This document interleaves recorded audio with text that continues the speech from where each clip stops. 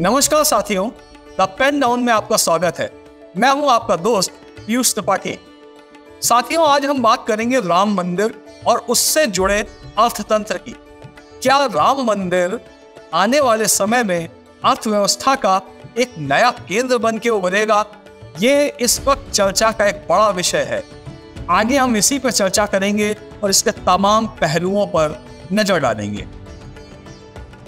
अयोध्या में नवनिर्मित राम मंदिर में 22 जनवरी को रामलला की प्राण प्रतिष्ठा के बाद से ही दर्शनार्थियों की भारी भीड़ उमड़ रही है। हालाँकि 22 जनवरी के काफ़ी पहले से ही श्रद्धालुओं की भीड़ अयोध्या पहुँचना शुरू हो गई थी। 22 जनवरी को प्रधानमंत्री ने राम मंदिर के गर्भगृह में रामलीला की प्राण प्रतिष्ठा की। इस अवसर पर देश दुनिया के बड़े बड़े लोग अयोध्या आमंत्रित किए गए थे, जिनमें साधु संत, राजनेता, उद्योगपति, खेल और फ़िल्म जगत से जुड़ी शख्सियतें शामिल रही। प्राण प्रतिष्ठा के बाद आमंत्रित अतिथियों ने रामलीला के दर्शन किए और दिल खोलकर मंदिर में चढ़ावा भी चढ़ाया। कहा जाता है कि सबसे ज़्यादा चढ़ावा रिलायंस इंडस्ट्रीज़ के मुखिया मुकेश अम्बानी ने चढ़ाया। सपरिवार अयोध्या पहुँचे मुकेश अंबानी ने अपने परिवार की तरफ़ से मंदिर में दो करोड़ इक्यावन लाख रुपए दान दिए।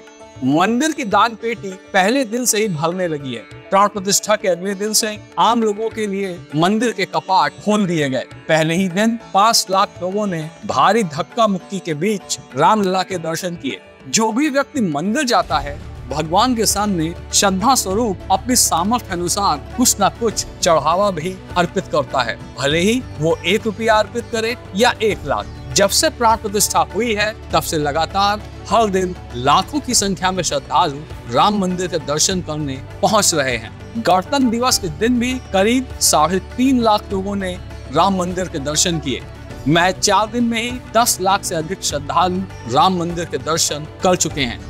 वहीं राम मंदिर ट्रस्ट ने जानकारी दी है कि 22 जनवरी को कैश काउंटर पर 6 लाख रुपए दान में आए और चेक एवं ड्राफ्ट आदि से 3 करोड़ रुपए मिले। तेईस जनवरी को 7 लाख रुपए नगद आए और 24 जनवरी को 16 लाख रुपए का दान मिला। इस तरह से देखा जा सकता है कि राम मंदिर में अब तक करोड़ों रुपए का चढ़ावा चढ़ चुका है। अभी तक दक्षिण भारत के तिरुपति बालाजी मंदिर, शिरडी के साईं बाबा मंदिर, मुंबई के सिद्ध विनायक मंदिर और वैष्णो देवी मंदिर को चढ़ावे की दृष्टि से सबसे अमीर मंदिरों की श्रेणी में रखा जाता है। लेकिन जिस तरह से अयोध्या में राम मंदिर में श्रद्धालु पहुँच रहे हैं, उससे कुछ दिनों में ही ये मंदिर सबसे अमीर मंदिरों में शामिल हो सकता है।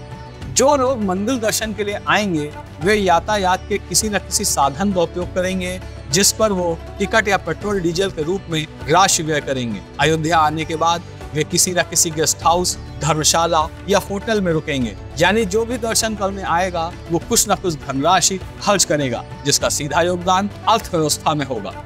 राम मंदिर के साथ ही रोज़गार का भी सृजन होगा। आसपास के जिलों का भी विकास होगा। जो लोग अयोध्या जाएँगे, उनमें से बहुत लोग उत्तर प्रदेश के अन्य धार्मिक स्थलों और पर्यटन केंद्रों को देखने भी जाएँगे। ये सारी गतिविधियाँ अर्थव्यवस्था को बढ़ाने में सहयोग देंगी। इस तरह हम देख सकते हैं कि अयोध्या अर्थ के एक नए केंद्र के रूप में भी स्थापित होगा। तो साथियों, हमने इस रिपोर्ट में देखा कि किस तरह से राम मंदिर आने वाले समय में अर्थ का एक नया केंद्र बनकर उभरेगा। साथियों, आपसे गुजारिश है कि आप हमारे चैनल को लाइक व सब्सक्राइब ज़रूर करें और किसी तरह से अपना सपोर्ट हमें देते रहें। धन्यवाद।